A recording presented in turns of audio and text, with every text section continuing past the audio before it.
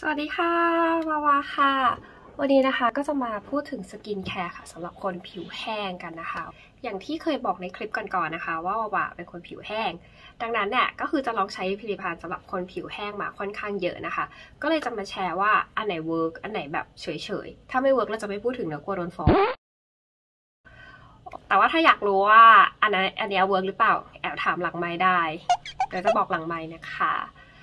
อันนี้อันนี้คือแต่งหน้าเสร็จแล้วดู dewy ปะแต่ว่าอันเนี้ยไม่ได้ใช้ไอ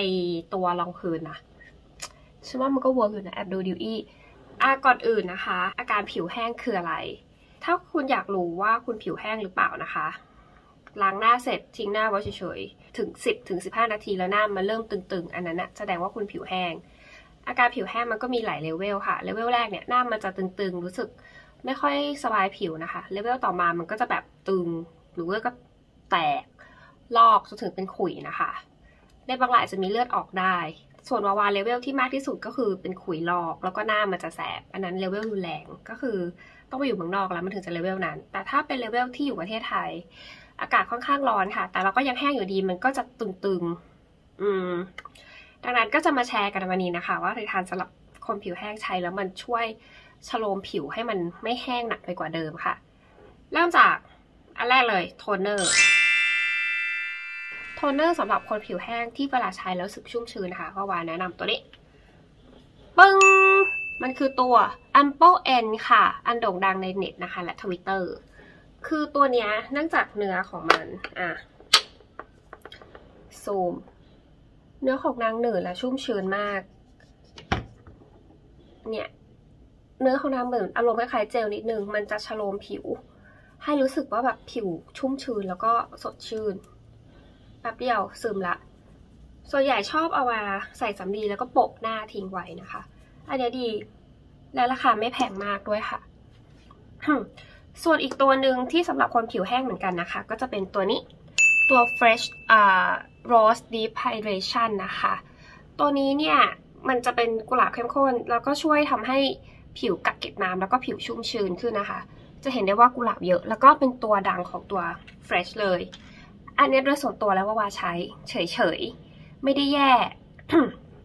สึกแหบถ้าเทียบกับสองถ้าเทียบตัวเนี้ยกับ Apple N อะวาวาชอบ Apple N มากกว่า และ Apple N ก็ถูกกว่าด้วย อันนี้ขนาดเท่าไหร่วะ อันนี้ 600 ml ใช่ปะซื้อมา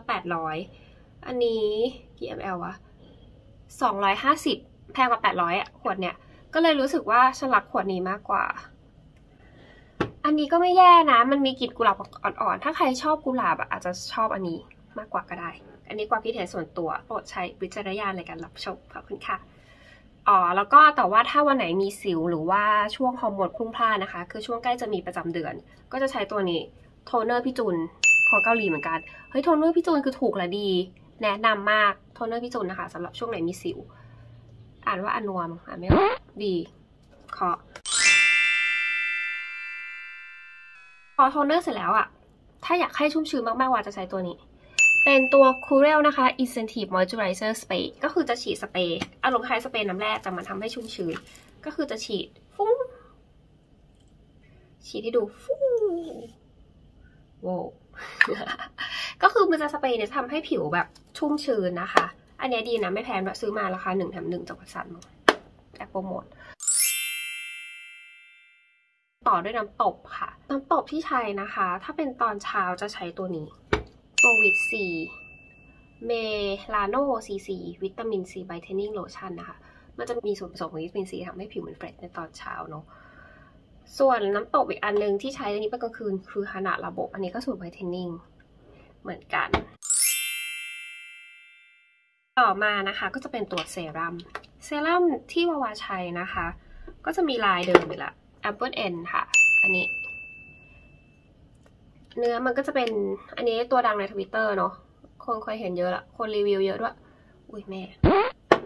มันก็จะอารมณ์ไหมสีทองข้างในอะค่ะ มันให้อารมณ์ความชุ่มชื้นอยู่นะ เนี่ย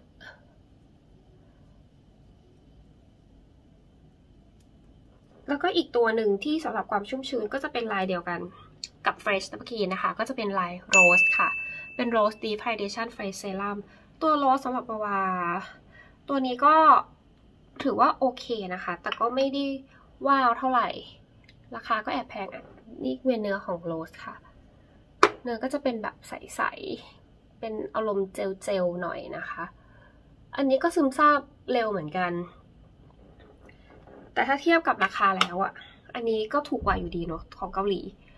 เอ่อส่วนตัวเฟรชก็เรื่อยๆ มาเรียงๆไม่ได้ว้าวอะไรมากมายสองตัวนี้ก็ไม่ได้รู้สึกว่ามันทำให้ผิวชุ่มชื้นในระดับ 10 หรือ 20 นะคะ ตัวที่รู้สึกว่ามันชุ่มชื้นมากกว่าคือตัวของไบโอเดิม แต่ว่ามันหมดไปละเลยไม่ได้มาแชร์ แล้วก็มีอีกตัวหนึ่งที่แนะนำก็คือตัวนี้ เป็นของเอสเต้นะคะ เป็นตัว Advanced Night Repair อันนี้ก็ทำให้ผิวชุ่มชื้นเหมือนกัน ที่แนะนำสำหรับคนผิวหน้าแห้งนะคะ ก็จะมี ตัว Night Repair แล้วก็ตัวของไบโทเดิมค่ะ ที่เป็นแพลงตอน อันหมดไปละเลยไม่ได้มาโชว์ อันนั้นดี เคาะโอเค เสร็จแล้วก็จะมาเป็น Moisturizer นะคะ ตัวมอยว่าวาตอนเช้าเนี่ยจะใช้จริงๆ หลักๆ ก็ใช้ตัวนี้ของ c o o r e l เหมือนกัน เป็น Moisturizer Face Cream นะคะ มันไม่มีกลิ่นแล้วก็ไม่มีแอลกอฮอล์ราคาก็ไม่แรง ใช้แล้วมันสดชื่น มันไม่ได้ใช้แล้วรู้สึกว่าผิวมัน ดีต่อผิวอะเหมือนทาอารมณ์ทาของเด็กอะแล้วมันดีต่อผิว มันไม่มีมันใสๆและแอลกอฮอล์อะค่ะ เลยรู้สึกว่ามันดีต่อสุขภาพผิวจริง ๆ บางวันนะคะ ก็อาจจะใช้ตัวลาย Fresh กุหลาบนี้เหมือนกันค่ะ อันนี้จะมีกลิ่นของกุหลาบแต่ให้เลือกอะก็คือวันไหนที่อยากจะมีกลิ่นอโรมานิดนึงก็จะใช้ตัวนี้ แต่ว่าทำไมมีเฟชกุหลาบเยอะจังเพราะว่าซื้อเป็นเซตนะคะ มันเลยราคาถูก ก็เลยซื้อมาทั้งเซตเลยค่ะ เป็น Power Set จาก King Power ตึงก็ส่วนไลายเฟชอันเนี้ยตอนแรกอะ่ะคือซื้อไอตัวนี้มาก่อนสำหรับคนผิวแห้งมันก็โอเค มันไม่ได้แย่นะ มันก็ช่วยให้ผิวเราชุ่มชื้น ซึ่งอันเนี้ยให้คะแนน 8 เต็ม 10 ส่วนอันเนี้ยให้ 10 เต็ม 10 เพราะมันถูกกว่า อันนี้ก็เลยไม่ค่อยคุ้มตัดขัดคะแนนเรื่องราคาไปนิดนึง ส่วนกลางคืนนะคะ จะใช้ตัวนี้ Fresh อีกแล้ว สลับกับ ตัวนี้แปนแปนแปนอ่านว่าโคดาลี่มั้งโคดาลี่เป็นแบรนด์จากฝรั่งเศสนะคะมีขายที่เฟฟอร่าโคดาลี่มันมันดียังไง ตัวนี้นะคะมันเป็นช่วยทำให้ผิวกระจ่างใสขึ้น anti dark spot ด้วย ครีมเนี่ยมันจะค่อนข้างเหนอะในตอนแรกแต่ทาไปแป๊บหนึ่งเนี่ย มันจะซึม อันนี้คือเนื้อครีมเนาะทาให้ดูควักออกมาเฮ้ย นี่ตัวครีมเนาะเนี่ยครีมเห็นอย่างเงี้ยมันจะค่อนข้างเข้มข้นค่ะ แต่ทาไปสักพักหนึ่งมันจะซึมแล้วมันจะไม่เหนอะแต่ใดๆก็แล้วแต่กลิ่นมันเหมือนกลิ่นใบไม้เลยเราไม่ค่อยชอบกลิ่นเท่าไหร่ แต่ว่าพอทาแล้วตอนเช้าแล้วตื่นมารู้สึกผิวแบบชุ่มชื้นขึ้นเห็นได้ชัดเลยรู้สึกแบบผิวเราอิ่มน้ำมาก อันนี้ work ส่วนอีกตัวนี้นะคะเป็น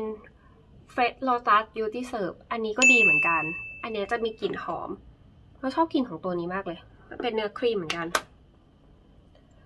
ราคาเท่ากันอะแพง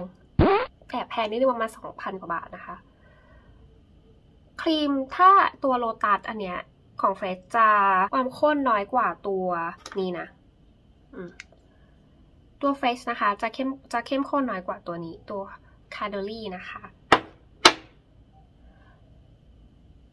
คือพูดเลยว่าทั้งคู่ดีเหมือนกัน ถ้าใครชอบกลิ่นหอมอ่อนๆ แบบ therapy ไปด้วยเนี่ย ก็แนะนำตัวนี้ แต่ถ้าใครแบบอยากตื่นมาชุ่มชื่นเลยก็ใช้ตัวนี้ได้แล้ว ตัวนี้จะช่วยเรื่องผิวกระจ่างใสด้วยนะคะ ส่วนวาจะใช้สลับกันแล้วแต่อารมณ์คู่ลองใช้ดูแล้วตัดสินใจเอาเอง ซึ่งราคาก็ใกล้ๆกันเลย อารมณ์ texture เหมือนกันเลย คือตอนแรกค่อนข้างหนักแล้วทิ้งไว้สักพักก็จะซึมเร็วทั้งคู่ ต่อมาต่อมา อีกอันนึงพูดถึงไม่ได้นะคะ ก็จะเป็นตระกูล water cream ค่ะปึ้งสองตัวนี้ water cream คืออะไร water cream นะคะ ก็จะคืออเป็นนวัตกรรมใหม่ค่ะ ที่เนื้อจะเจลเป็นเจลแล้วก็จะแตกตัวกลายเป็นน้ำนะคะสำหรับคนผิวแห้งช่วยให้มันเก็บกักความชุ่มชื้นชโลมผิวอะไรพวกนี้นะคะ ซึ่งถ้าให้เทียบระหว่างตัว Tatcha นะคะ water cream กับตัวของตัวคิวชอบตัวทัชชามากกว่า เพราะพอรู้สึกว่าทัชชามันให้ texture ความชุ่มชื้นมากกว่าของตัวคิวค่ะ ตัวคิวอันเนี้ยเฉยๆไม่แย่นะ แต่เฉยโอเค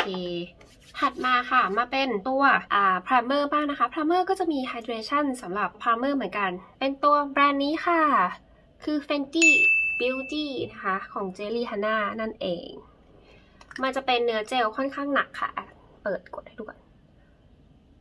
ตึ้ง เห็นปะวะ แล้วก็ถูถูถูด้วยความเป็นเนื้อเจลอะบางคนอาจจะไม่ชอบ texture นี้เพราะมันจะหนักแต่ทาไปเรื่อยๆแล้วหน้ามัน glow เว้ย อันนี้เห็นปะอันนี้เราก็ทาไอตัว Fenty ของเจลลี่ฮันน่านะคะ ทาปุ๊บแล้วก็หน้า glow อย่างที่เห็น ต่อมาต่อมาลิปติก เอ้ยไม่ใช่ลิปติกลิปมัน ลิปมันเราแนะนำตัวนี้ชู ก้าของ Fresh เองเหมือนกันอุ้ยฉันซื้อ Fresh เยอะเนาะชูก้า Advanced Therapy นะคะมันทาแล้วมันดีมากเว้ยทาแล้วแบบปากชุ่มชื้นราคาไม่แพงด้วย ดีเคาะต่อมาอีกอันนึงนะคะ ที่รู้สึกว่ามันชุ่มชื้น ก็คือนี่เว้ยฮิมาลายา 150 บาท ถูกและดี อันนี้ก็ชอบเหมือนกัน แต่ถ้าให้เรื่องความชุ่มชื้นนะเราว่าอันเนี้ยชุ่มชื้นมากกว่า แล้วก็มีอันนึงที่ชอบแบบชื่อนี้ Dior Lip Maximus Dior Lip Collagen นันนี้นะคะ อันนี้ก็มันจะค่อนข้างเป็นอารมณ์กลอสหน่อย แต่มันทำให้ผิวริมฝีปากเราชุ่มชื่นด้วยเช่นกัน ในสามตัวนี้ทั้งหมดอะเราชอบอันนี้ที่สุดแนะนำ สุดท้ายแล้วหรือเปล่า ครีมทาตัวค่ะ ครีมทาตัวนะคะวาวาใช้ของตัว CeraVe ค่ะ นี่ CeraVe ดียังไง อันนี้เป็น CeraVe สูตร moisturizing cream นะคะ กับอันนี้ CeraVe เหมือนกัน เป็น CeraVe สูตร moisturizing lotion อ่าด้วยการเป็นครีมมันก็ต้องเข้มข้นกว่าโลชั่นเนาะ ครีมเราจะทาตอนกลางคืนเว้ย อันนี้ทาตัว นี่ข้นจริงนึกว่ากาวลาเทคแต่ทาแป๊บเดียวมันซึมนะคะ ส่วนตัวนี้เป็นเนื้อโลชั่นเดี๋ยวเทียบให้ดู อันนี้โลชั่น อันนี้ครีม ครีมมันจะ ซึม ยากกว่าหน่อยแต่โลชั่นจะซึมง่ายกว่า เพราะฉะนั้นกลางคืนเราจะทาเป็นครีมค่ะ แล้วกลางวันเราจะใช้โลชั่น จบแล้วนะคะ อาจจะฟังดูงงๆหน่อย เพราะว่าพูด information เยอะไปหน่อย จริงๆว่าว่าใช้ไอตัวพวกผลิตภัณฑ์สำหรับผิวแห้งอย่างเงี้ย มากกว่าที่พูดวันนี้อีก แต่ว่าบางอันก็ใช้หมดแล้วก็ทิ้งเนาะใครอยากได้ข้อมูลเพิ่มเติมหรืออยากถามว่าอันนี้ดีไม่ดีอะ ก็หลังไมค์มาได้นะคะ จะได้ตอบแชทกลับไป